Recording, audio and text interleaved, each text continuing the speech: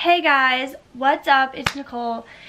Today is September 10th and right now we are in the middle of Hurricane Irma but the good news is that she has weakened a little bit to a category 3. We prepared for the worst so hopefully we still have power. So I just wanted to make this video because I did a poll on Twitter whether you guys wanted relationship advice or a drive with me. Obviously I'm not doing a drive with me but I might have that planned maybe for next week because you guys really seem to like my drive with me's. Um, I love to film drive with me's because it's just a chill video and I can just, um, the editing is not as treacherous as like a sit down video like this one. So today's video is going to be a relationship advice. Now, I know most of you are thinking like, you know, yeah, I'm 21. I know a lot, okay, because I've been through a lot. So I'm going to educate you guys, my young teenagers out there. So if you want to, get a pen and paper, and I'm going to give you some advice. So, my first tip on relationships. If you are in, in a long distance relationship and you start to feel doubt, like you feel like it isn't going to work out, please talk to your significant other. Be like, hey, I feel like, I feel some doubt here. And he might give you some research, reassert, da da da. Oh my god.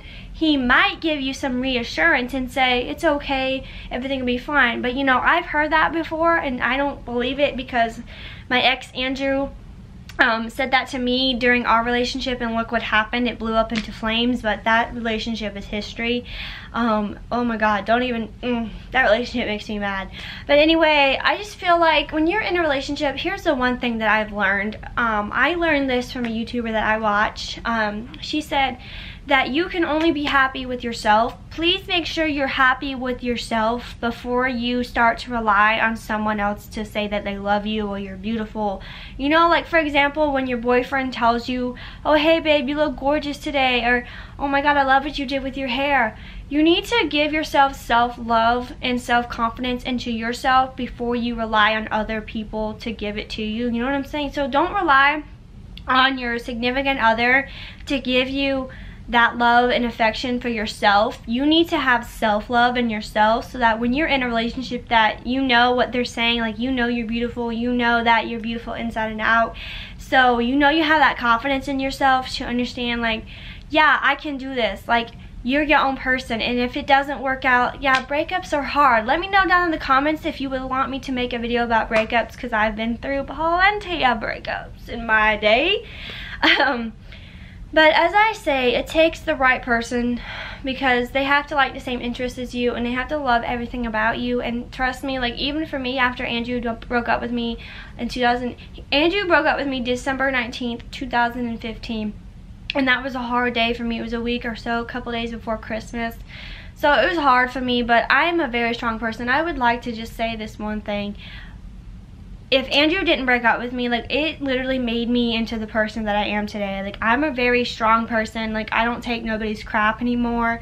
I've kind of gotten to the point where I've gotten a little bit more tougher skin. You know, like I don't, I'm not as sensitive I used to, as I used to be. I still am pretty sensitive though, but not as sensitive. I kind of give it right back to you. Like I don't know, that's good or bad.